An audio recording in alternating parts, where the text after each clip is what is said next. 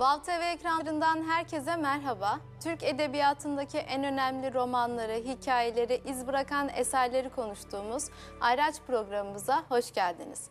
Hayatı ve insanı anlama ve anlamlandırma noktasında sevdiğimiz kitapların sayfalarını yeniden aralıyoruz. Kurmaca kahramanlarla yolculuğumuz devam ediyor.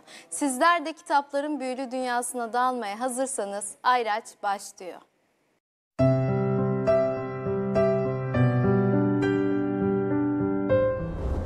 İnsanoğlunun yaratılışının gereğidir. İnsan kendi mutluluğundan yalnız kendinin haberdar olmasıyla kanaat etmez. Herkesi de haberdar etmek ister. Hatta bir insan esasında mutlu değilse bile etrafına kendi mutluluğunu inandırmak için hilekarlığa ve yalancılığa bile düşer. Programımızda yazı makinesi olarak bilinen Ahmet Mithat Efendi'nin Felatun Bey ile Rakım Efendi isimli romanını konuşacağız.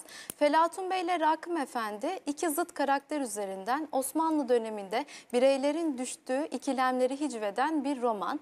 Bizler bugünkü programımızda romanın doğuş zeminiyle beraber bu eseri ele almaya çalışacağız. Bugün çok kıymetli bir konuğum da bizlerle. Bandırma 17 Eylül Üniversitesi öğretim üyesi doçent doktor Bahtiyar Aslan konuğumuz. Hocam nasılsınız? Teşekkür ederim. Sağ olun. Siz nasılsınız? Ben de iyiyim. Çok teşekkür ederim. Ee, ayağınıza sağlık. Geldiniz. Davetimizi kırmadınız. Sağ olun. Evet bugün e, edebiyatımızda belki e, roman estetiği bakımından çok üst sıralarda yer almayan fakat e, bir devrin panoramasını sunan bizlere önemli bir eseri, vesika niteliğinde bir eser belki de Felatun Bey ile Rakım Efendi romanını konuşacağız. İki zıt karakter üzerinden aslında batıllaşmayı ele alan bir roman. E, hep ifade ettiğimiz o doğru batıllaşma ve yanlış batıllaşma. Tabii bunun ne kadar da mümkün olduğunu da konuşacağız. Yani doğru batıllaşma diye bir şey var mıdır? Evet, Bu da önemli bir husus bence. İnşallah bun- bun- bunları da irdeleyeceğiz. E, sizler de bu eserle ilgili bir yazınız vardı ve öncelikle Tanzimat dönemiyle ilgili bir giriş yapmıştınız o dönemde de. Çünkü e, asırlardır Osmanlı'nın öteki olarak konumlandırdığı o batıyı artık e, öykünerek onunla ilgili kendisini konumlandırma biçimine giriştiği bir dönem Tanzimat ve siyasal, ekonomik, askeri alanda pek çok gelişmelerin de yaşandığı bir dönem ve aynı zamanda da tabii ki edebiyatta da bir takım yenilikler ortaya çıktı ki bunların en önemlisi hiç kuşkusuz bizim de programlarımızda konu edindiğimiz roman, roman türü ortaya çıktı. Felatun Bey ile Rakım Efendi de bu ilk roman türünün örneklerinden bir tanesi olarak sıralabili- e, sayabiliyoruz. Öncelikle ben bunu Türk edebiyatındaki yeri ve önemi hakkında konuşmak istiyorum ve e, roman türünün o doğuş zemini üzerinden bu eseri bir anlatırsak çok güzel olur diye düşünüyorum. Yani şimdi bugünkü e, birikimimizden hareketle bakarsak bu roman hiç de değerlendirmeye alınabilecek, kale alınabilecek bir roman değil teknik Evet. olarak. Roman tekniği bakımından. Ama şöyle de düşünmek lazım. Ee, mesela biz işte Tanzimat döneminde de romanları, Tanzimat dönemi romanlarını da eleştirirken batılı anlamda romana ne kadar yakınlar, ne kadar uzaklar, ne kadar başardılar, başarmadılar şeklinde bir yaklaşımla eleştiriyoruz. Halbuki mesela Batı romanına da baktığımızda bunun öncülleri var. Romaneskler var, işte Picaro'lar var vesaire. Ee, dolayısıyla bunları bir anlamda modern Türk romanının doğuşunun tıpkı Batı romanındaki öncüller gibi olduğunu kabul edersek biraz daha insaflı yaklaşma şansımız olur. Ama mesele bundan ibaret değil. Bu romanın bence en önemli tarafı Felatun Bey ve Rakım Efendi'nin daha işin en başındayken Türk edebiyatının hatta Türk düşünce hayatının, Türk sosyal hayatının e, hiçbir zaman değişmeyecek. Bugün de var çünkü. Değişmeyecek bir e, meselesine parmak basması. Bu batırlaşmak meselesi diyelim. Evet. Yani yanlış batırlaşmak, doğru batırlaşmak da demeyelim. Doğrudan belki çerçeveyi böyle alırsak daha sağlıklı düşünmek mümkün olur. Doğrudan bu meseleye parmak basan bir roman. Ee, peki bu doğru bir parmak basma mı? İşte bu tartışılabilir. Bunu uzun uzun tartışmamız mümkün. Çünkü mesela ben romana bakıyorum. Orada iki tane zıt karakterden bahsediyoruz. Birisi Felatun Bey, e, birisi Rakım Efendi. İsimden başlıyor her şey. İsim semboli- sembolizasyonu diye bir şey var biliyorsunuz edebiyatta. İşte Felatun Bey, Eflatun'la ilgili olarak daha e, hayali, daha mücerret bir tarafa işaret gönderme ediyor, gönderme yapıyor, işaret ediyor. Öbürü rakım, rakamla ilgili daha m, bugünkü anlamda pozitivist, daha e, reel bir dünyaya işaret eden iki isim. Dolayısıyla buradan da bakarak şunu söyleyebiliriz. Birisi realiteyi, birisi e, Felsefe. irrealiteyi irrealite, diyelim. evet. İrrealiteyi temsil eden iki karakter. Fakat aynı zamanda bunların konumlandırıldığı yerler de çok önemli. Birisi doğuya nispeten, birisi batıya konumlandırılıyor. Birisi eskiye, birisi yeniye konumlandırılıyor. Yani menfi olanlar hep bir tarafta, müspet olanlar hep bir tarafta. Romanın hemen doğuşunda yani Türk romanının hemen doğuşunda öyle bir şey olması normal mi? Bence gayet normal. Şu anlamda geriye doğru gittiğinizde e, mevcut anlatılara yani Türk e, insanını o güne kadar besleyen anlatılara baktığımızda, mesnevilere, halk hikayelerine baktığımızda e, insanlık tarihi boyunca esasında böyle olmuş. Yani Binbir Gece masallarından da baksanız e, o tarafa yani e, aşağı yukarı 20. yüzyıla kadar olan bütün insanlık tarihinde bir dualite diye bir şeyden söz ediyoruz. Bir dualite ve var. kötü. En azından bildiğimiz hikayeler içerisinde. Kur'an kıssaları da buna dahil. Bu dualitenin niye devam ettiğiyle ilgili tartışmalar çok biliyorsunuz bu roman üzerinde. Ya işte hep iyiler iyi, hep kötüler kötü mü olur? Evet, ahlaki e, bir netice çıkarılacak didaktik eserlerin hemen hemen hepsinde böyle bir şey vardır. Masallarımızda, halk hikayelerimizde, mesnevilerimizde iyiler hep iyidir, kötüler hep kötüdür.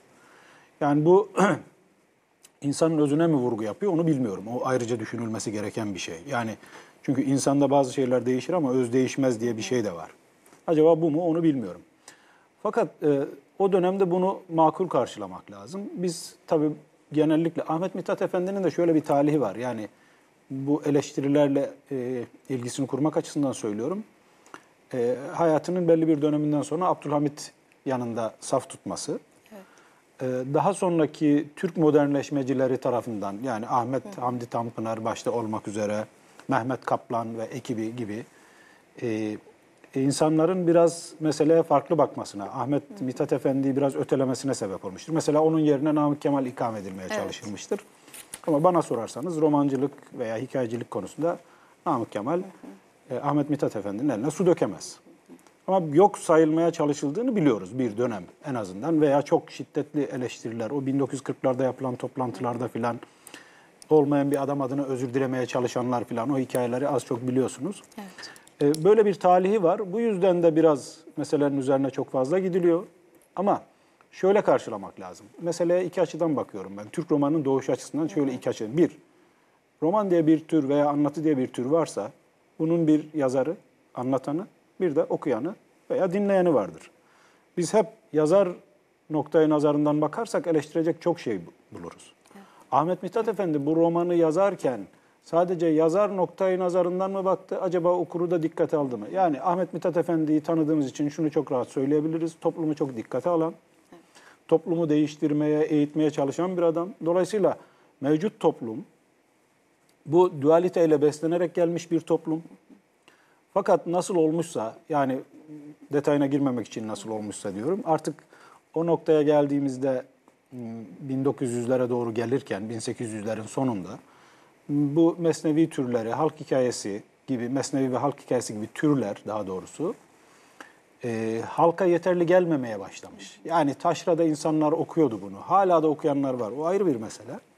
Ama genel kamuoyunu tatmin etmeyen bir anlatıya dönüşmüşler artık. Çünkü toplum değişmeye başlamış. E, aslında batılılaşmanın etkisi yavaş yavaş gözükmeye başlamış da diyebiliriz. Ama e, bu sosyal hadiseler birden bir işte e, maktağından kestim işte bakın dediği gibi Necip Fazıl'ın birden bıçakla kesilip ayrılabilen bir şey değil. Sürecin devam etmesi lazım. Onun içine girmesi lazım. E, bu dualite ve anlatı geleneği Ahmet Mithat'ta çok gördüğümüz işte orta oyunundan Evet, kalan geleneksel anlatı geleneği anlatı e, toplum bes- besleyen bir gelenek olduğu için ondan birdenbire koparıp yeni bir e, türle, yeni bir anlatım şekliyle yaklaştığınızda toplumun bunu algılayıp algılamayacağı konusunda bir tereddüt oluşuyor doğal olarak. Ahmet Ki- Mithat'ta bu tereddüt var.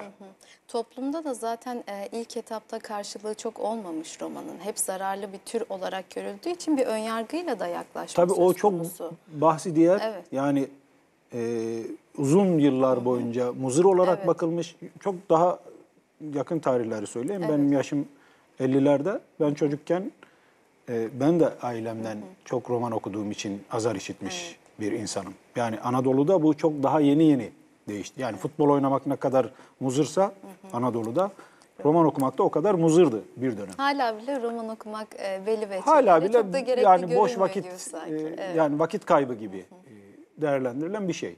Şimdi meseleye böyle baktığımızda Ahmet Mithat Efendi'nin aslında kendi toplumunu iyi tanıyan bir insan olduğunu çünkü bugünkü yazarlar gibi veya işte fil dişi kulesinde oturan yazarlar gibi bir yazar olmadığını biliyoruz. Çekirdekten yetişme, çekirdekten derken yani e, işte tamamen kendi kendini yetiştiren, toplumdan hiç kopmayan, aynı zamanda ticaretle uğraşan, toplumun farklı kesimleriyle sürekli muhatap olan, işte gazeteleriyle, çıkardığı kitaplarla, toplumun eğitimiyle ilgilendiği için aile terbiyesinden tutun bilmem hangi konulara, coğrafyaya, matematiğe kadar birçok konuya kafa yoran, bunlarla ilgili kitap yazan bir adam var karşımızda. Kendi toplumunu iyi tanıyan bir adam demek istiyorum kısacası. Ve bu topluma bir mesaj vereceği zaman o toplumun alışkanlıklarından birdenbire kopmanın esas muzır olanın, zararlı olanın bu olduğunu farkında kanaatimce. Ha bunun farkında olmasa acaba modern o günkü anlamda modern roman yani gerçekçi roman. Gerçekçi romanla e, gerçekçi romanın kurallarına uygun romanlar yazabilir miydi diye bir soru işareti var kafamızda. Mecbur muydu diye bir soru işareti bende var ayrıca. Evet. Yazmalı mıydı diye. Çünkü geldiğimiz noktadan bakıyoruz ki bu gerçekçilik dediğimiz edebi akım veya daha öncesinde romantizm veya klasizm diye edebi akımların bir ömrü var, tamamlıyorlar, yerini başkasına bırakıyorlar. Hiç de e, kendi dönemler içinde zannedildiği kadar önemli, zannedildiği kadar lüzumlu şeyler değil. Gerçekçilik dediğimiz o dönemki roman, romanın doğuş açısından da önemli olduğu için biraz açıyorum. O günkü bilimsel gerçeklik anlayışına bağlı olarak olayları izah etmek, ona bağlı olarak hikaye anlatmakla alakalı bir şey gerçekçi roman dediğimiz. Yani mümkün olduğu kadar tasvir etmek, detaylandırmak. Hatta bununla ilgili bir karikatür dolaştı bir ara. Çok hoşuma giderdi. Bir yerde sakladım. İşte bir beyefendi yoldan geçerken orada oturan birkaç kişiye soruyor. Diyor ki şuradan buradan az önce şu şu şu şekilde bir hanımefendi geçti mi diyor. Geçmiş Geçmiş kadar gibi oldu, oldu. diyorlar. Gerçekçilikten anladığımız şey as- esasında olmuş gibi ol, oldurmak anlatırken. Yani detayda bunun için önemli. Tabii başka bir şey de sebep sonuç ilişkisi. Mutlaka sebep sonuç ilişkisi olması lazım. Bu sebep sonuç ilişkisini de tanımlayan e, o dönemin bilim anlayışı. Yani pozitivizm. Pozitivizm diyor ki şu şu sebeple şu şu sonuçlar doğar veya şu şu sonuçlar doğmuşsa altında bu, bu sebepler yatar diye bir kesin şey var. E, Fakat hayat böyle bir şey değil. Hayatın içinde böyle kesin sebep sonuç ilişkisini sürekli kurmak doğru değil, mümkün değil. Ayrıca doğru da değil. Çünkü sürekli sebep sonuç ilişkisi üzerinden giderseniz e, hayatınızda sizin ruhunuzu besleyecek alanları köreltmeye başlarsınız ya da tamamen kapatırsınız. Nitekim bir süre sonra insanlık bunu fark ettiği için de gerçekçilikten vazgeçti. Yani o ampirik pozitivizm dediğimiz, onun beraberinde getirdiği liberalizm, bireyselleşme filan bunların e, 80'lere kadar hatta Türkiye'de 90'lara kadar çok kutsal kavramlar gibi özellikle liberalizm çok savunuyordu. Aslında bunların temelinde dünyevileşmek diye bir şey var. Dünyayı, evreni, insanı, Tanrı'yı yeniden tanımlamak, bu bahsettiğim kavramlar arasındaki ilişkileri yeniden kurmak diye bir şey. E, hatta Tanrı'yı tamamen e, devre dışı bırakmak. Çünkü işte laboratuvar ortamında sınanmak diye bir endişesi var e, ampirik pozitivizmin. E, e, sı- sınayamadığın şeyi yok sayıyorsun, sınayamadığın olguyu yok sayıyorsun. Bunun, bu böyle bir gerçeklik anlayışı içerisinde, rasyonalizm dediğimiz şey esasında onu da söylemek lazım. Rasyo dediğimiz şey de biliyorsunuz ölçü. Yani bir şeyi değerlendirirken benzeriyle kıyaslamaya gerektiriyor. Öl- bu, bu bundan uzundur, bu bundan kısadır gibi rasyo. Ras, ak- akılcılık dediğimizde, rasyonalizm dediğimiz, gerçekçilik dediğimiz şey de buraya dayanıyor. Ama bir tek akıl yok. Yani o rasyo anlamındaki akıl bütün insanlığa o dönemden itibaren dayatıldığı için böyle bir şey.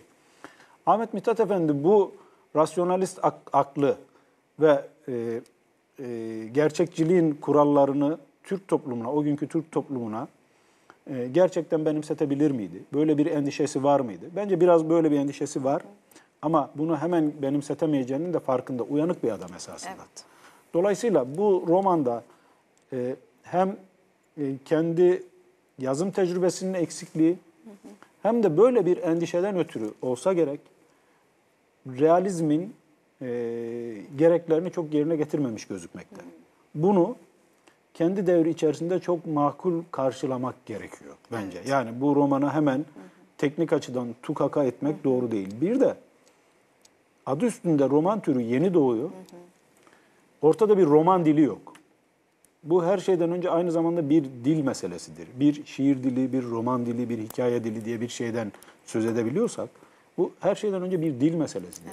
Nitekim bu dil, roman dili gelişmeye başladıkça biraz daha gerilere yani Cumhuriyet'e doğru geldiğinizde aynı tipin farklı romanlarda farklı şekillerde görü- görüldüğünü Evet görürsünüz. orayı da biraz geçelim isterseniz. Tipler üzerinde konuşalım. Çünkü burada Felatun Bey e, önemli bir durumu da temsil ediyor. Baktığımızda Berna Moran da ilk olarak e, romanın önemini burada açıklıyor. Yani ilk alafranga züppe tipi e, aslında bu romana e, önemini kazandıran durumlardan bir tanesi. E, Felatun Bey yanlış batıllaşmayı temsil ediyor diyoruz ve e, beraberinde sonraki yıllarda Cumhuriyet'e kadar gelen süreçte de türlü şekillerde farklı yazarlarda biz bunu gördük. Mesela Peyami Safa, Yakup Kadri de bunlara örnekti. Bu bağlamda Felatun Bey'in temsil ettiği değerler nelerdi? Yani yazar neden Felatun Bey'i bu kadar üvey evlat gibi görüyor? Neden Evet, o şimdi- muameleyi yapıyor Tabii diyelim. öncelikle şunu vurgulamak lazım. Ee, yazar çok doğru bir tespit yapıyor. Evet. Çünkü bu tespit daha sonraki yazarlarda Cumhuriyet dönemine doğru, Cumhuriyet döneminde de e, tipler e, roman türünün gelişmesine bağlı olarak biraz değişik, Evet. biraz daha karakter Karaktere dönüşüm. karaktere dönüşerek biraz daha derinlikli tipler olarak veya karakterler olarak yaşamaya devam ediyor. Demek ki en baştan Ahmet Mithat Efendi Türk toplumunun çok önemli bir meselesine parmak basmış. Hatta benim kanaatim bugün de bu alaf, alafranga züppelerin ve rakımların, felatunların ve rakımların Türk toplumunda bol miktarda olduğu kanaatindeyim. Bunların da zaman zaman romanlarda söz konusu edilmesi gerektiğini düşünüyorum. Yani şimdi Türk toplumuna baktığımızda e, her fırsatta işte Avrupa'da bu böyle. Evet. Almanlar olsa böyle yapmaz diyen arkadaşlarla Felatun Bey'in e, karakterler arasında hiçbir farkı olduğunu zannetmiyorum. Ya bunun çözümü çok basit. Biz Türk'üz, biz kendimize göre bir toplumumuz var, kendimize göre bir karakterimiz var. Bizde bu işler böyle olur. Bizde bazen meseleler karmaşayla hallolur gibi bir şey söyleyip geçiştirmek belki en kolayı. En iyisi daha doğrusu kolay demeyelim de. Felatun Bey şöyle söyleyeyim. Mesela bana şöyle bir soru sorsaydınız. Felatun Bey mi Rakım Efendi mi deseydiniz ben Felatun Bey'i tercih ederdim. Ben de nedense evet. Felatun Bey bana daha yakın geliyor. Şunun için, şimdi burada söz konusu olan e, yanlış batırlaşmak ya da doğru batırlaşmak. Doğulu kalmak diye bir problem yok, Yok, ortada. Bu çok kötü öyle. bir şey. Yani esasında, merkez ilginç. gene batıda. Merkez hep Doğuda batıda, değil, evet. evet. Yani doğulu kalmaya çalışan işte Muallim Naci gibi birisi olsaydı e, şüphesiz onun yanında hemen ben e, safımı tutardım. Evet. Ama burada yanlış batırlaşmak ve doğru batırlaşmak. Doğru batırlaşmak diye bir şey e, Rakım, Rakım'ın yaptığı e, Batı'nın bütün değerlerini çok hızlı bir şekilde içselleştirmek, Evet. herhangi bir tereddüt yaşamamak ve bu değerlere uygun olarak hareket etmek. İ- Bu içinde nasıl bir mümkün çatışma olabilir? da Bu yaşanıyor. hiç insani bir şey değil. Yani bu çatışmayı Felatun'da da görmüyoruz ama Evet. Felatun'un tutumu hiç değilse daha insani, daha sıcak bir tutum. Çünkü biz bir medeniyetten başka bir medeniyete geçerken hem toplum olarak bugün Türk toplumu hala bu acemiliği yaşıyor. Geçiyor muyuz, geçmiyor muyuz onu da bilmiyorum. Geçmeli miyiz, geçmemeli miyiz diye sorarsanız çok şey çıkar. Ama e, biz bu acemiliği yaşıyoruz. E, bütün insanlarımız da yaşıyor. Bu şöyle bir şey. İçine doğduğunuz toplum, içine doğduğunuz dil sizi her zaman önemli oranda belirler. Sonra istikametinizi istediğiniz kadar nereye çevirirseniz çevirin. Konuştuğunuz dil sizin düşünme biçiminizi, karakterinizi, davranış biçiminizi her zaman belirler. Önemli ölçüde belirler. Yani Türkiye'den bir insan çıkıp gider ana dili gibi Fransızca, ana dili gibi İngilizce konuşur, İngiliz gibi giyinir, İngiliz gibi yemeye başlar, İngiliz gibi düşünmeye başlar. Ama uyuduğunda rüyasını Türkçe görür. Evet. Bu çok önemli. Eğer rüyasını Türkçe görmeye başlıyorsa hatırlaşmamış demektir. O istediği kadar batılılaştığını söylesin. Şimdi Rakım Efendi e, e, enteresan bir şekilde hiçbir tereddüt yaşamadan ve sürekli hesaplı bir şekilde. Mesela beni rahatsız eden şeylerden birisi budur. Çok hesaplı ve hesapçı. Evet, zaten Berna Moran da aslında e, farklılığı da burada buluyor ya. Doğu ve e, Doğu ve Batı çatışması değildir orada Rakım 2 diyor. Tamamen hesap. Yani e, ne kadar hesaplı yaşarsan o kadar iyidir'i Şuradan şu uygulamaya kadar kazanacağım, buradan bunu yapacağım, şu metresimle şöyle bir netice alacağım, ondan İngilizce öğreneceğim, öbürüne Fransızca öğreteceğim. İşte. Çok çıkarcı değil mi hocam? köle satın alırken bak bu kız güzel ben bunu yetiştiririm. Ondan sonra aile hayatına katkı sağlar. iyi terbiye edersem şöyle olur gibi sürekli bir matematik hesap içerisinde ve bunlar hep isabet ediyor enteresan bir şekilde. Hepsi tutuyor. Biz esasında burada Ahmet Mithat Efendi'nin kendisini görüyoruz büyük oranda. Çünkü Ahmet Mithat Efendi hayatını sürekli bu hesaplar içerisinde geçiren, çok ciddi yokluklar, çok ciddi yoksulluklar içerisinden gelerek e, ciddi bir birikime ulaşabilen, e, işte su ticaretinden matbaacılığa, yazarlıktan bilmem neye kadar her şeyi yapan ve başaran, çok güçlü, çok çalışkan bir adam. Aslında orada Rakım, Ahmet Mithat Efendi'nin alter egosu. Yani kendisindeki bütün olumlu değerleri, kendine göre olumlu değerleri Rakım'a yüklüyor. Tenkit ettiği, muhtemelen başkaları üzerinde tenkit ettiği değerleri de Felatun Bey'e yüklüyor. Ama Felatun Bey şöyle sevimli kısmı şu. Felatun sürekli batılılaşmaya çalışırken bir takım acemilikler yapıyor. İşte m, yabancı dili iyi öğrenemiyor. Bugün Türkiye'deki bütün entelektüellerin, bütün akademisyenlerin ortak problemi bu. Evet. Yabancı dili Türkiye'de özellikle bizim e, edebiyat camiasındaki akademisyenlerin yabancı dille ilgili çok ciddi bir problemleri var. Yani saysanız bir elin beş, beş parmağını geçmeyecek insan çıkar yabancı dille e, şey e, ünsiyeti iyi olan. Bunu açık açık söylemek lazım. Bu bir temel problem olarak devam ediyor. Öte taraftan e, bizim geleneksel toplum hayatımızda var olmayan bir aşk ilişkisi içerisine giriyor. E, Bunda tökezliyor. Evet. Öyle olması gerek zaten. Bunda başarılı olması zaten onun artık bizim toplumumuzun insan olmadığını, batılılaştığını Peki gösteriyor. Rakım neden başarılı Ama Rakım hep oluyor? bu işlerde başarılı. Evet hep başarılı Aslında olabiliyor. burada şey de var. Ahmet Mithat Efendi'nin hayatında da böyle şeyler var. Bunu bilmek lazım. Yani o gayrimeşru ilişki diyelim. Ahmet Mithat Efendi'nin hayatının belli dönemlerinde eee, epeyce var. E, O Rakım'ın ahlak dışı yaptığı bir takım olaylar mesela asla romanda kötü olarak Orada geçmiyor. onaylanıyor. Şimdi onaylanıyor. bu burada bir şey var. Bu bunu söylemek istiyorum. Türk romanının genel problemlerinden birisi bu. Bu metnin ideolojisi diye bir şeyden bahsedeceksek, metnin alt katmanında gizliden olumladığı tematik güç dediğimiz güçler üzerinden bize bazı yanlışlıklar tasvip ettirilebilir. Şöyle bir örnekle izah ediyorum. Öğrencilerime ben Aşk-ı Memnu'yu okutuyorum.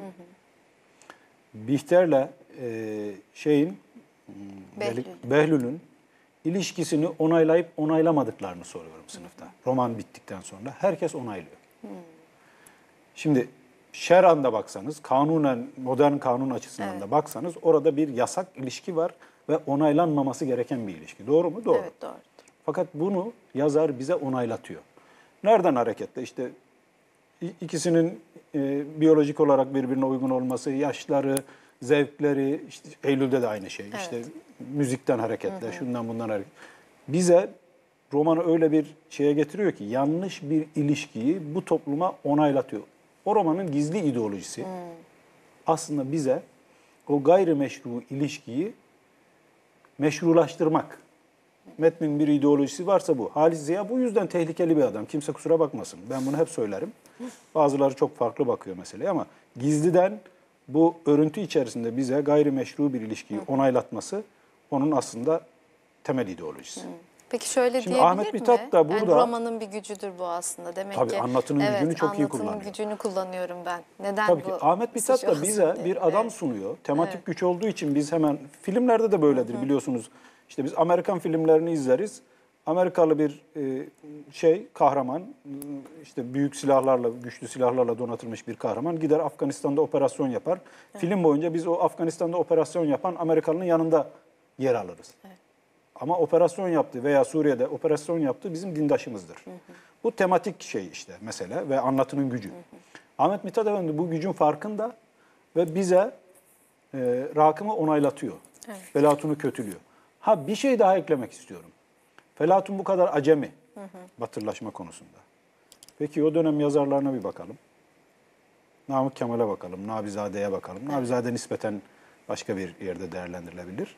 Ahmet Mithat'ın bizzat kendisine bakalım. Sizin yazdığınız romanlardaki tutumunuz eğer buysa, Felatun'dan çok farklı değil. Evet. Siz romanın Felatunlarısınız. Yani batılı tarzda roman yazarken Felatun'un batırlaşmada yaşadığı acemiliklerin hepsini siz bizzat yaşıyorsunuz. O zaman şunu da söylemek lazım. E, Felatun acaba Ahmet Mithat'ın, yazar Ahmet Mithat'ın alter egosu mu? Mesela böyle bir sorun bir tarafta dursun bence. Evet. Çünkü orada da acemi bir, hayata karşı acemi bir adam, öbür tarafta da romana karşı bir takım, bugün O eleştirdiğimiz zaman acemilikler yapan bir adam var. e, Jale Parla'nın o bahsettiği yetimlik e, konusu üzerinden detaylandırabilir miyiz? Yani yetim kalan bir e, Osmanlı medeniyetinden bahsediyoruz ve orada yazar bir baba rolünde karşımıza çıkıyor. E, o baba rolünde de daha otoriter yani Ahmet Mithat'ın sürekli romanlarında veya hikayelerinde araya girip bir bilgi vermesi ya da bir kahramanı daha fazla tutup ötekine daha fazla yeriyor olması gene bu baba rolüyle ilgili olabilir mi? Bir de e, aynı şekilde Nurdan Gürbilek'te de bu efeminileşme korkusu yani erillik kaybı korkusu e, çıkarımı var. Bunları nasıl değerlendiriyorsunuz? Bunu bu çok- şekilde de çok bakabilir geniş bir miyiz? yere yaymak lazım. Şu anlamda bu erillik dişillik Evet. mevzu, medeniyetler arası Evet, medeniyetler oradan belki arası. bakmak lazım. Çok eskiye doğru giderseniz e, mesela ilişkilerde de böyledir. İnsani ilişkilerde e, dişil olan taraf, dişi olan taraf hep fethedilen taraftır. Kaledir. Erkek hep fetheder. Yani mesnevilerde de böyledir, destanlarda da böyledir. Ee, medeniyetler arasındaki ilişkide de birbirini tarif ederken mesela Doğu medeniyeti Batı'yı alacaksa, fethedecekse veya Osmanlı işte İtalya'yı alacaksa oraya dişil bir rol biçer. Evet. Eril olan kendisidir. Bu e, tarihsel bir şey. E, bunun kaybı bu bizim o, yani şö- şöyle anlamak lazım. Özellikle Tanzimat döneminde e, biz batırlaşmaya karar verdiğimizde Evet. hani o doğunun e, aklı piranesiyle batının fikri fikrini birleştirmek meselesinde de bu erillik dişillik ortaya çıkıyor. Halbuki burada çok tam tersi bir durum var esasında. Fakat bu bir muhafazakar tutum. tutum. Yani aslında orada doğuyu fetheden batı, dolayısıyla esasında eril olması gereken batı, dişil olması gereken doğu. Fakat biz Tam tersi. her şeye rağmen Evet. o erillikten vazgeçmemeye çalışıyoruz. Batı'nın e, bikri fikriyle Doğu'nun aklı piranesini Yani birleştirmeye. erilliği temsil Erilliği- eden bir doğu Halbuki biz alem. orada tam Evet. edilgen pozisyondayız o anlamda bakarsak. E, Ahmet Mithat Efendi de bu kendisini bir baba rolünde görmesi aslında onun hayatıyla da ilgili. Çünkü genç yaştan itibaren çok geniş bir ailenin sorumluluğunu üstlenmek zorunda. Herkesin babası olmak pozisyonunda.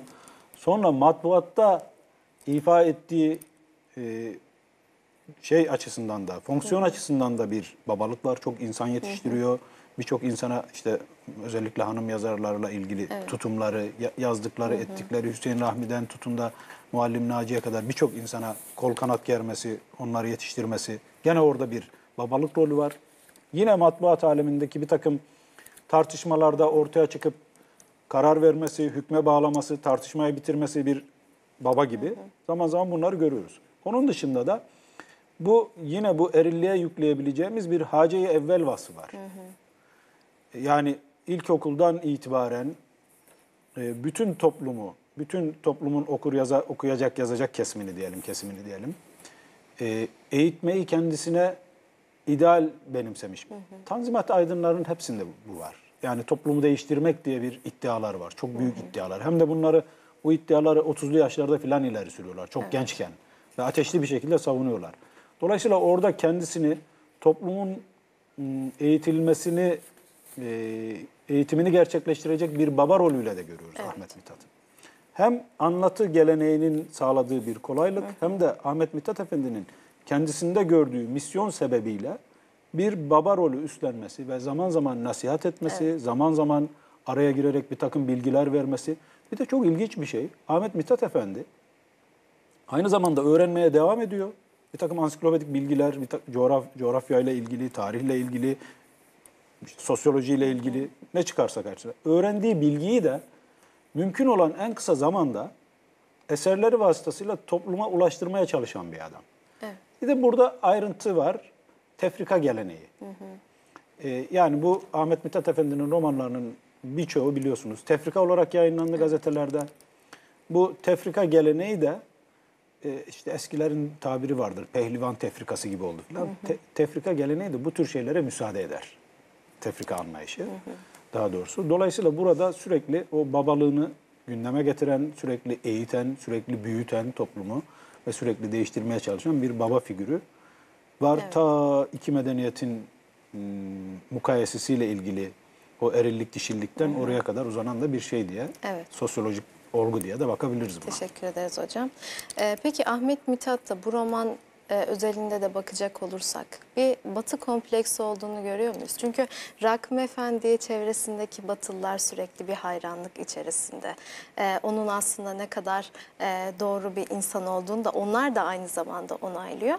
E, ve Ahmet Mithat bu noktada bir sentez peşinde miydi? Doğu ve batı sentezini savunuyor muydu? Çünkü Orhan Örkay da e, burada aslında bir ikilemden ziyade mülemma kavramını ortaya çıkarıyordu. Bu açıdan nasıl değerlendirebiliriz ah, romanı? Yani şu bugünkü birikimle şunu söyleyebiliriz. Çok bilinçli bir e, o m, aklı pirane ile Evet. fikri fikri buluşturmak çok bilinçli bir şey değil. E, bir proje değil. Ya bunun da çok makul gerekçeleri var. Çünkü işin henüz başındayız. Evet. Henüz öteki dediğimiz kitleyi yeterince tanımıyoruz. Evet. Bir de burada ilginç, işte bunu da belirlemek lazım. Belki o gün öteki diye bir kavram yoktu ama bilinç olarak vardı. Çünkü biz e, ta Osmanlı'dan itibaren batıya kafir dedik. Batılılar da yani Hristiyan dünyası da Müslümanlar için aynı kavramı kullanıyor. Bunun anlamı şu, gerçeğin üstünü örten demek kafir, küfür. Evet. Karartan, örten anlamında bir şey biliyorsunuz. Biz onlara hep kafir, kendimizi mümin ilan ettik. Yani gerçeğe örten ve gerçeğe inanan iki farklı kitle. Dolayısıyla biz kendi müminliğimizi tanımlarken sürekli kafir olana vurgu yaptık. Onu öteki olarak belirledik. Ee, Ahmet Mithat Efendi'nin dönemine doğru gelindiğinde tuhaf bir psikolojiyle karşı karşıyayız. Esasında sadece tuhaf değil. Yani bütün toplum için düşünürsek. O günlerde bu yine e, o günkü birikim e, gereği çok fazla iş- işlenmiş bir şey olmayabilir. Hatta günümüzde de çok fazla vurgu yapılan bir şey değil. Çünkü artık bazı şeyleri kanıksadık belki de. E, Bizim şöyle bir psikolojimiz vardı Osmanlı'nın. Düne kadar öteki olarak tanımladığımız bir kitleye bu cumhuriyet kurulurken de aynı psikolojiyi yaşadık. Bir kitleye benzemek gibi bir durum içerisindeyiz. Yani esasında bu bir anlamda e, bu- bugün çok net söylediğimiz Stockholm sendromuna benzeyen bir şey. Yani 600 yıl boyunca hükmettiğiniz ve sürekli kafir olmakla itham ettiğiniz bir kitleye kanunuyla, örfüyle, adetiyle, giyimiyle, kuşamıyla benzemeye karar vermek büyük bir travma olsa gerek. Evet. Şimdi bu travmanın yorumunu Ahmet Mithat ve dönemindekiler sağlıklı yaptı mı? Mesela Namık Kemal'e bakıyorsunuz. Ahmet Mithat da aynı. E, Batı'ya karşı işte Renan Müdafaa, Müdafaa Namesi'den söz ediyorum Namık Kemal deyince. Ahmet Mithat'ın da benzer eserler, epeyce bir eseri var biliyorsunuz. Batı'ya karşı İslamiyet'i savunma ihtiyacı hisseden bir psikoloji, bu kadar yerli bir insan. Fakat öbür taraftan da Batı'nın her şeyini onaylayan, Batı'nın romanını, Batı'nın şununu bununu almaya çalışan diyorlar. Sadece şiir, sadece roman değil, her şeyi anlamında. Bir insan psikolojisi düşünelim. Tam bir e, vaka psikolojik vaka tam bir travma esasında. Peki bu her şey alındığında orada e, eleştirilen Felatun Bey'e doğru bir gidiş de olmaz mı? Yani hep diyoruz ya Batı'nın tekniğini alacağız, bilimini alacağız ama o Batı'nın tekniğini ve bilimini almak arka planda düşünce biçimini, yaşayış biçimini de almak anlamına gelmiyor mu? Dönemin e, aydınları ve yazarları bu durumun Tabii tam ki. olarak Şimdi farkında değil miydi? İstanbul'a tramvay getiriyorsanız, e, Batı'nın teknolojisi diye İstanbul'a tramvay getirdiğinizde haremlik, selamlık, selamlık bilmeyi Evet. muhafaza edemezsiniz. Edemezsiniz. Yani Batı'nın e, eşyasını kullanırken doğulu kalmak ne kadar mümkün? Evet. Yahut da buna doğulu bir yorum getirmek mümkün mü? İşte bu, bu soru duruyor bir tarafta. Evet. Ama bu ne kadar mümkün dediğim bir hüküm esasında. Ama bir yorum getirebilir miyiz sorusu ayrıca durabilir. E, dolayısıyla Ahmet Mithat Efendi'nin bizzat kendisinde de gördüğümüz, yazarlığında da gördüğümüz az önce söylediğim şey kaçınılmaz bir felatunlaşmak. Çünkü bu acemilik e, kaçınılmaz bir şey. Bundan kurtulmak mümkün değil.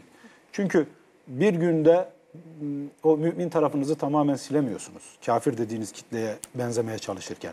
Çünkü o içsel bir şey. Bir günde Türk toplumu kafirleşebilseydi eğer, o anlamda söylüyorum, mevzu bitmiş olacaktı. Bir de burada tehlikeli bir şey var. bu öteki meselesi. Ee, insanın kendisini veya toplumun kendisini, bu da çok modern bir şeydir ve Tanzimattan sonra topluma yerleşmiş bir şey benim kanaatimce. Çok e, tarihsel altyapısını incelediğimi söyleyemem ama öteki kavramı üzerinden insanın kendini tanımlaması veya toplumun kendini tanımlaması diye bir şey var ortada. Evet. Zorunlulukmuş gibi. Biz kendimizi sadece öteki olarak, öteki üzerinden tanımlamaya çalışırsak kaybederiz. Mesela bugün modern Türkiye'ye geldiğimizde Türk toplumu kendisini, bununla ilgili kitaplar da yazılıyor biliyorsunuz. Yunanistan ötekisi üzerinden tanımlamaya, e, şimdiki tabirle, gençlerin tabiri fit ediliyor. Yani ona e, razı ediliyor. Evet. Yunanistan benim ötekim olamaz. Veya Ermenistan üzerinden Azerbaycan'ın kendini tanımlaması mümkün olamaz. Çünkü bu çok küçük bir öteki veya çok basit bir öteki. Büyük bir imparatorluk geleneğinden gelen bir Türk toplumu kendisinin ötekisi olarak Yunanistan'ı göremez. Düne kadar vilayetimiz olan bir yer benim ötekim olamaz gibi bir şey. Oryantalizm de aslında bu durum eleştiriliyordu ama oksidentalizm de aynısı olmadı mı? Gene öteki üzerinden bir tanım. Aynı aynı noktaya döndü. Evet, döndü. Dolayısıyla biz yani hem Türk romanı için en baştan beri söylüyorum hem de Türk toplumunun genel karakteri itibariyle, genel durumu itibariyle söylüyorum. Biz kendimizi her zaman öteki üzerinden tanımlamak durumunda değiliz. Bizim içsel bazı tanımlarımızın olması lazım. Kendi kaynaklarımıza yönelmemiz lazım. Bu bir e, işaret etmem lazım. Yazıda vardı, o yazıyı okumuşsunuzdur. Tam Felatun Bey ve Rakım Efendi'ye denk gelen bir şey. Darius Sayagan'ın Batılılar Darius Şayagan diye telaffuz ediyor. Bildiğimiz Darius, İran, e, Fars dilindeki Darius. Darius Sayagan'ın o meşhur Yaralı Bilinç kitabında söylediği bir şey var. Kadim ustalarım diyor bana başka bir şey söylüyor. Diyor ki öbür dünyayı kazanmak, öbür dünyada mesut bir hayat e, kurabilmek için bu dünyadan mümkün olduğu kadar vazgeçmeniz gerekir. Dünya nimetlerinden uzaklaşmanız gerekir diyorlar. Ama modern üstadlarım da bana bunun tam tersini söylüyorlar anlamında uzunca bir söylemi var. Şimdi Ahmet Mithat Efendi'nin, Namık Kemal'in, keza bizim bugünkü Türk toplumunun düştüğü pozisyon hiç değişmedi. Kadim ustalarımızdan yani dünyevi varlıklardan mümkün olar, mümkün olduğunca vazgeçin diyen ustalarımızdan kimin kastedildiği çok açık. Belli ki bu tasavvuf erbabı, belli ki Mevlana, belli ki Yunus. Bize bunlar hep bunu öğütlüyor. Bir tarafımız hep bu. Bunu yok sayamıyoruz. Çünkü o aynı zamanda manevi tarafımıza, aynı zamanda dini tarafımıza işaret ediyor. Ama öbür taraftan da modern üstadlarımız, kim bu modern üstadlar? Tüketim toplumu, reklamlar, televizyonlar işte veya şunlar bunlar. Bunlar da bize sürekli daha dünyevileşmeyi, daha çok dünya malı edinmeyi, daha lüks yaşamayı emrediyor. Biz bu ikisinin arasında bir bölünmüşlük yaşıyoruz. Felatun Bey'in acemiliği her ne kadar o bahsettiğim dünyevileşmekten kaçma tarafı falan gündeme getirilmese bile acemiliği bu anlamda bana çok daha makul geliyor. Rakım Efendi tamamen sanki insanın bu boyutu yokmuş gibi o rakamlar üzerinden, hesaplar üzerinden bir hayat kuruyor. Aynı şeyi az önce söylediğim Renan müdafası örneğinden ama bir zam- bir yandan da Türk şiir geleneğine, Türk e, anlatı geleneğine saldıran Namık Kemal üzerinden de söyleyebiliriz. Ahmet Mithat Efendi üzerinden de söyleyebiliriz. Yani karşımızda esasında bir çift gerçekli, çok sonra çift gerçekli diyecekler. Yani e, hocanın, e, merhum hocanın mülemma dediğine, Evet. ee, bir zaman sonra Kemal Tahir çift gerçekli bir toplum diyecek Türk toplumu için. Karşımızda Tanzimat'tan itibaren hatta biraz daha öncesinden itibaren çift gerçekli bir toplum var. Biz bu gerçeğin hangisinden ne kadar behreyab olacağız, hangisine ne kadar inanacağız diye bir sorun. Türk toplumunun kadim bir sorunu artık Tanzimat'tan beri. Yani Ahmet Mithat Efendi'nin bu romanda bunu işaret etmesi en başta bizim en kadim meselemizi tespit etmesi anlamına da gelir. Bu da aslında çok şaşırtıcı. Yani büyük bir başarı esasında Türk romanı adına, Ahmet Mithat Efendi adına. Evet. Ee, peki bu roman üzerinden aslında hep öteki dedik ya sanki bu romanın ötekisi Felatun Bey gibi yani batıdan ziyade Evet. konumlanan burada Felatun Bey. Çünkü e, o hani belli noktalarda İslam'dan uzaklaşmayı da temsil eden bir karakter olarak karşımıza çıkıyor ve bununla ilgili bir makale okumuştum. Orada e, öteki olarak konumlandırılma sebebini e, İslam geleneğinden ve Doğu kültüründen uzaklaşmaya bağlıyordu. Mesela orada e, İngiliz bir dost aile var ve onlarla gayet sıkı ilişkiler içerisinde olunabiliyor. Ama kendi içinde yani kendi medeniyetinde kendisi gibi olmayan bir karakter e, burada öteki olarak konumlanıyor. Bununla ilgili söyleyebileceğim Yani şeyler var mı? Felatun Bey kim ne derse desin bana daha masum geliyor. Çünkü Felatun Bey bu dediğiniz şeyleri deniyor. Evet. başaramıyor. Onun başaramaması Ahmet Mithat'a göre tembellikten olabilir bize öyle anlatıyor. Evet. Serkeşlikten olabilir, babasıyla ilgili olabilir. Çünkü ta babasından itibaren başlıyor. Evet. Halbuki şöyle bir çelişki de var. Ahmet Mithat Efendi'nin e, anlattığına göre Felatun e, Bey'in e, babası e, Mustafa Meraki e, aslında m, hikayeye göre Türkiye'nin ilk batırlaşma heveslerinden birisi belli ki. İşte Üsküdar'dan taşınıyor. e, Beyoğlu'na. Beyoğlu'na taşınıyor. Orada batılı bir hayat sürmek için Orada bir gayret sarf ediyor. bir durum da oluşturmaya çalışmış sanırım değil mi? Yazar. Nasıl yani baba determinist bir Evet. durum da tabii tabii sebep sonuç ilişkisine Evet. bağlayacak. Yani Hatta baba böyleyse çocuk da genetiğe bağlayacak. öyle. baba böyleyse oğul da böyle olur demeye getiriyor. Ama öyle değil. Baba bu acemiliği yaptıysa oğlunun biraz daha usta olması gerekir bence. Yani bu acemilik ikinci kuşakta devam etmez. İkinci kuşakta başka bir şeye dönüşür. Orada da bir e, Ahmet Mithat Efendi'nin bir e, mantık hatası yaptığını düşünüyorum. Evet. Yani Felatun Bey bana daima daha masum geliyor. Teşebbüs ediyor fakat başaramıyor. Tıpkı bizim gibi. Tıpkı biz batırlaşmaya heveslenen bugünkü Türk aydınlarının, Türk gençlerinin başaramadığı gibi. Daha makul, daha gerçekçi e, ve daha sıcak bir karakter gibi geliyor. Ben Rakım'la e, böyle bir problemim var ama e, Felatun'u daha sıcak, daha insani buluyorum doğrusu. Evet. Romanda aynı zamanda Osmanlı'nın son dönemlerine dair bir takım e, tartışmalara veya hususlara da rastlıyoruz. Mesela aile ve eğitim meselesi veya o kölelik meselesi. E, bunlar- Kalem meselesi Evet, evet kalem meselesi. Bunlar hakkında neler söylersiniz Bunlar yeni hocam? yeni açılan problemler o günlerde. Yani işte Ahmet Mithat'ın büyüklüğünü, Evet. e, hakkını burada teslim etmek lazım. Yani sadece bir romanın içerisinde yavaş yavaş daha sonra ele alacağı, daha sonra başka yazarların gündeme getireceği bir takım meselelere küçük küçük işaretlerde Evet. bulunması. Çünkü Ahmet Mithat Efendi hakikaten çok ilginç. Yani İstanbul'un aydınlatılmasından tutun da işte yok köpeklerin itlafına kadar Avrupa'daki işte felsefi akımlardan e, doğudaki bilmem nelere kadar her konuyla bir şekilde ilgilenen, Evet. o kırk ambar tabirini gerçekten hak eden bir adam var karşımızda. Dolayısıyla bütün eserlerini, külliyatını yayıp baktığınızda bilinçli veya bilinçsiz, yeterli veya yetersiz Türk toplumunun parmak basmadığı o gün için, bugün de birçoğu geçerli olan meselesi hemen hemen yok gibidir. Evet. Dolayısıyla bu bahsettiğiniz meseleler de tesadüfen olmayan ama çok detay, bu kitap içerisinde en azından çok detaylı yer verilmeyen ba- bazı meseleler. Daha sonra bunları işleyecek, bazılarının işlemesi için teşvik edecek. Daha sonra arkadan gelen başka yazarlar bu meselelerin üzerine gidecek. Bunları edebiyat tarihinden biliyoruz. Evet. Bu onun aslında e, yazarlığının hanesine bir artı olarak yazılması gereken Kesinlikle. bir şey. Ee, hocam Gösterge. teknik anlamda yetersizlikleri konuştuk ama dilerseniz programımızın sonuna doğru yaklaşırken bunu biraz daha detaylandıralım. Çünkü e, eleştirmenler tarafından da fazlasıyla aslında e, eleştirilen bir romanda aynı zamanda. Siz de ifade ettiniz işte dil ve üslup, e, meddah geleneğine biraz daha yakın olması, e, toplumsal koşulların o zaman belki de ona ihtiyaç duyduğu ve yazarın da aslında e, buna binaen bir edebiyat ortaya koyduğuna dair çok güzel bence bugünün hakikaten e, motto cümlelerinden bir olun. tanesi oldu ve e, biraz daha evet orada yazara belki hak verme. Çünkü bu eleştiriler yapılırken genelde hep yazar merkezli eleştiriler yapılıyor ama o dönemin hakim koşullarını da biraz göz önünde bulundurmamız tabii ki. gerekiyor.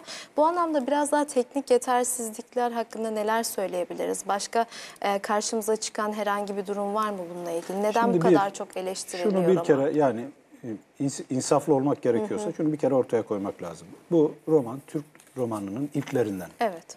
Bir. Yani bir geride e, bir roman tecrübesi yok. Bir anlatı geleneği var yararlanabileceği ve ondan da yararlanıyor doğal olarak. Bir Onunla ilgili bir gelenek var, sıkıntı yok. bir Zaten yok. yararlanıyor. Evet. Ama romanla ilgili bir tecrübemiz yok. Şimdi meddah dili veya orta oyunu dili veya destan dili başka bir şeydir. Roman dili başka bir şeydir. Bu ikinci mesele. Ortada bir roman dili yok. Üçüncü bir mesele, mesele çok da aklıma gelenleri söylüyorum. Üçüncü bir mesele, romanın, romanı doğuran ideolojiyle ilgili bir mesele. Romanın barındırdığı, romanı doğuran ideolojinin barındırdığı ahlakla ilgili bir mesele. Realist roman detaycıdır dedik. Şimdi bu romanın bize dayattığı şeylerden birisi bu. Toplumun yapısı hem yazarın hem okurun ahlak anlayışı buna uygun mu? Bizde niye roman yok diye tartışmaların gerisinde böyle çok gerçekçi, çok realist sebepler var.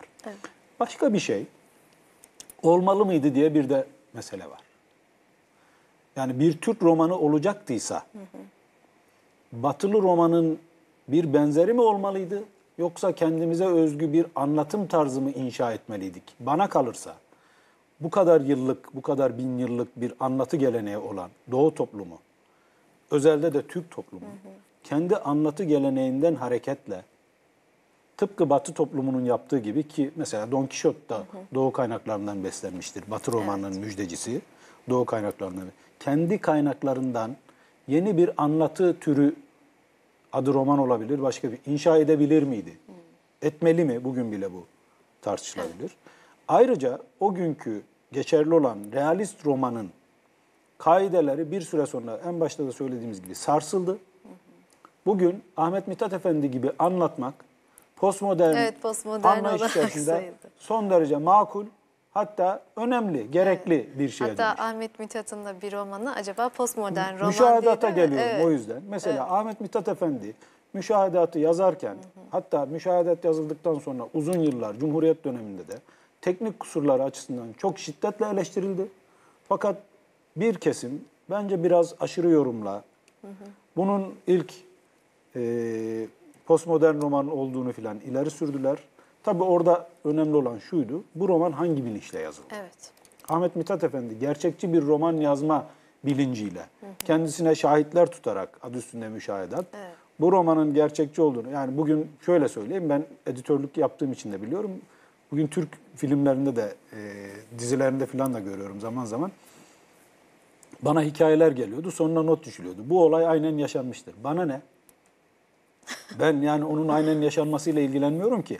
Yani yazar beni bu olay aynen yaşandı diyerek bunun bir hikaye olduğuna veya önemli olduğuna ikna etmeye çalışıyor. Türk filmlerinde de bu dizilerde de gerçek bir olaydan esinlenmiştir falan diye notlar düşülüyor. Mevzumuz bu değil. Ahmet Mithat böyle bir teşebbüste bulundu orada o ayrı mesele de. Ama daha sonra o anlatı geleneği, daha doğrusu anlatı tarzı Ahmet Mithat'ın müşahedette, müşahedatta denediği anlatı tarzı bilmeyerek, bilinçli olmayarak, onun için postmodern değil bana sorarsanız. Çünkü postmodern bilinçli yapılan bir şeydir. Ahmet Mithat Efendi acemiliğinden yapıyor onu.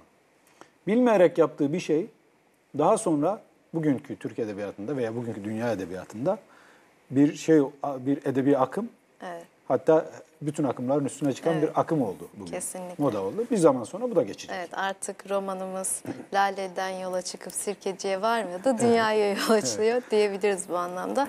Evet hocam son dakikalarımız. Dilerseniz bu son dakikalarımızda da e, Felatun Bey ile Rakım Efendi romanınız sizin için ne anlam ifade ettiğini soralım ve bununla birlikte şimdi 2023 yılında yaşayan bir genci hayal edelim. Bugünün genci.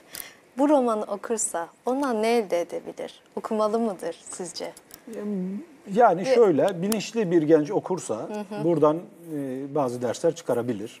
Evet. Bizim e, konuşma boyunca yapmaya çalıştığımız gibi bugünkü Türk toplumuna bir projeksiyonda bulunmaya çalışabilir. Evet. Ama bilinçsiz bir genç için okunması son derece zor, e, son derece sıkıcı ve hiç de ilginç olmayan bir roman olarak e, bugünkü gence bu şekilde bir roman olarak gözükecektir en azından. Evet. E, okunmasını tavsiye eder miyim?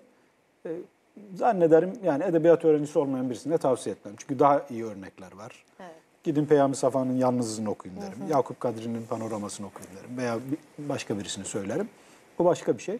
Ama bir şey daha açmak lazım. Bu postmodernizmin de yani postmodern romanları çok tavsiye etmem. Ee, postmodern roman e, Tanzimat'ın başında biraz da hoşça vakit geçirmek için roman okumak gerektiğini ifade ediyorlardı ya. Tam ona denk gelen bir roman türüne dönüştü. Biraz. Evet. Farklı bir açıdan. Ee, yani gele gele oraya geldi. Ee, dolayısıyla bir modern gence söyleyebilecek çok şeyi yok postmodern romanın. Ona hoşça vakit geçirtebilir. Ama bugünkü Türk toplumunun o en başta söylediğimiz kadim doğu batı meselesi ne işaret eden romanları tavsiye ederim. Ahmet Mithat Efendi'den başlamak üzere.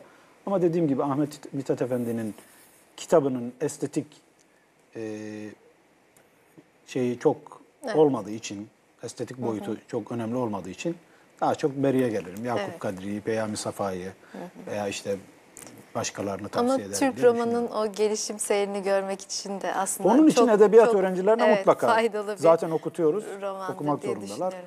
Çünkü oradan çıkıyoruz çünkü. Çok teşekkür ederiz. Ağzınıza sağlık. Çok keyifli bir Ben program oldu. ederim. Çok sağ Böyle olun. su gibi akıp geçti benim için. Ağzınıza Çok sağlık. sevindim. Çok teşekkür ederim. Ayraç programımızın bu hafta sonuna geldik. Felatun Bey ile Rakım Efendi isimli romanı konuştuk. Doçent Doktor Bahtiyar Aslan hocamızla birlikte haftaya yepyeni bir bölümle karşınızda olmak dileğiyle. Hoşçakalın efendim.